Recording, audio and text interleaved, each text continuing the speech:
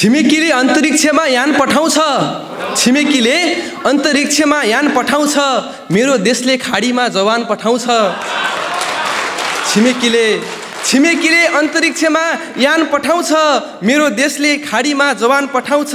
बिहेपछि भर्खर विदेश गएको छोरोले बिहेपछि भर्खर बिहेपछि भर्खर विदेश गएको छोरोले आमा बिर्सन्छ श्रीमतीलाई सामान पठाउँछ।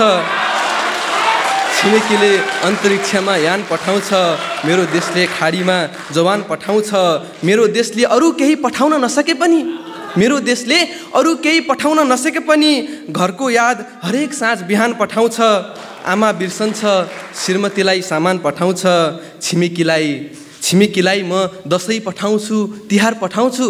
मेरो छिमेकीलाई म दसैँ पठाउँछु तिहार पठाउँछु। कोसेलीमा ऊ मलाई पनि रमजान पठाउँछ। घरको याद हरेक साँझ बिहान पठाउँछ। छिमेकीले अन्तरिक्षमा यान पठाउँछ। मेरो देशले खाडीमा जवान पठाउँछ। दोस्रो गजल। प्रेमिका सम्झियो। प्रेमिका सम्झियो अनि नेपाल यातायात सम्झियो।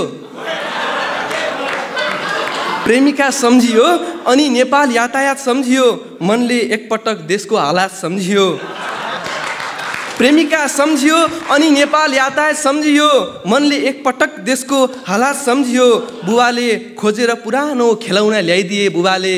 बुबाले खोजेर पुरानो खेलौना ल्याइदिए। छोरोलो छोरोले यसैले आफ्नो अवकाश सम्झियो। मनले एकपटक देशको हालात सम्झियो। आमाले बोलाएपछि आमाले बोलाएपछि भोको बालकले पनि आमाले बोलाएपछि भोको बालकले पनि सब थोक बिर्सियो केवल दुध भात सम्झियो। छोरोले यसैलाई आफ्नो अवकाश सम्झियो। के सम्झिन र परदेशीले परदेश पुगेपछि? के सम्झिन र? के सम्झिन र परदेशीले परदेश पुगेपछि? घर सम्झियो बा आमा दिनरात सम्झियो। सब थोक बिर्सियो केवल दुध भात सम्झियो। सँगै चिया पिरेको साथी उठेर गयो। सँगै सँगै चिया पिरेको साथी उठेर गयो। लाग्यो उसले अचानक मेरो जात सम्झियो। प्रेमिका सम्झियो अनि नेपाल यातायात सम्झियो। मनले एकपटक सँगै चिया पिरेको साथी उठेर गयो। सँगै सँगै चिया पिरेको साथी उठेर गयो। लाग्यो उसले अचानक मेरो जात सम्झियो। धन्यवाद। म तपाईँलाई तेस्रो गजल सुनाउँछु। भट्टी आएको छ। भट्टीमा पिउनु पर्छ मजासँग पिलाउनु पर्छ भट्टीमा पिउनु पर्छ मजासँग पिलाउनु पर्छ अनि बल्ल मनसँग तन मन मिलाउनु पर्छ भट्टीमा पिउनु पर्छ मजासँग पिलाउनु पर्छ बा पनि कुरा घुमाइ घुमाइ गर्नुहुन्छ यार बा पनि बा पनि कुरा घुमाइ घुमाइ गर्नुहुन्छ यार बा पनि अब त तँलाई नयाँ कोट प्यान्ट सिलाउनु पर्छ अनि बल्ल मनसँग तन मन मिलाउनु पर्छ आनन्द नै खोज्ने हो भने काशी जानु पर्दैन। आनन्द नै खोज्ने हो भने काशी जानु पर्दैन। मात्र चिलाएको ठाउँमा एकपटक मजासँग चिलाउनु पर्छ अब त तँलाई नयाँ कोट प्यान्ट सिलाउनु पर्छ आनन्द नै खोज्ने हो भने काशी जानु पर्दैन। आनन्द नै खोज्ने हो भने काशी जानु पर्दैन। मात्र चिलाएको ठाउँमा एकपटक मजासँग चिलाउनु पर्छ असलमा असलमा एउटी नारी सुन्दर देखिनलाई असलमा असलमा एउटी नारी सुन्दर देखिनलाई कि त कुर्ता लगाउनुपर्छ कि त साडी लगाउनुपर्छ। आनन्द नै खोज्ने हो भने एकपटक मजासँग चिलाउनु पर्छ बिहे नगरेसम्म कसरी थाहा होस् यी कुमारहरूलाई? हुन त धेरै मैले विवाहित देखिरहेको छु।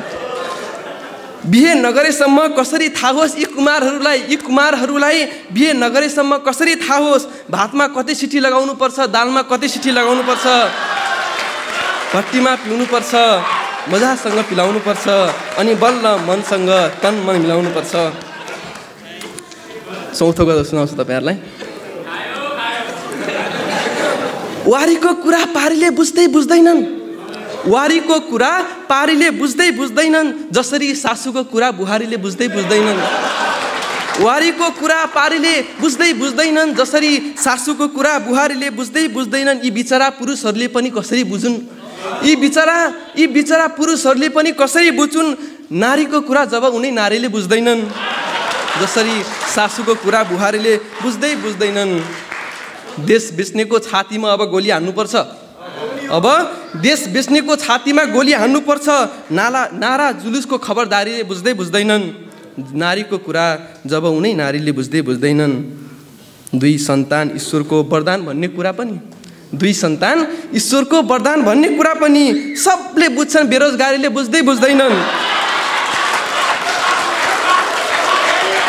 दुई सन्तान ईश्वरको वरदान भन्ने कुरा दुई सन्तान ईश्वरको वरदान भन्ने कुरा पनि सबले बुझ्छन् बेरोजगारीले बुझ्दै बुझ्दैनन्। एक जवान युवतीमा एक जवान दुई सन्तान ईश्वरको वरदान भन्ने कुरा पनि दुई सन्तान ईश्वरको वरदान भन्ने कुरा पनि सबले बुझ्छन् बेरोजगारीले बुझ्दै बुझ्दैनन्। एक जवान युवतीमा एक जवान युवतीमा अनेक हुन्छ लट्ठ पार्ने। एक जवान युवतीमा अनेक हुन्छ अनेक हुन्छ लट्ठ पार्ने।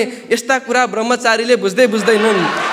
वारीको कुरा पारीले बुझ्दै बुझ्दैनन् जसरी सासूको कुरा बुहारीले बुझ्दै बुझ्दैन धन्यवाद।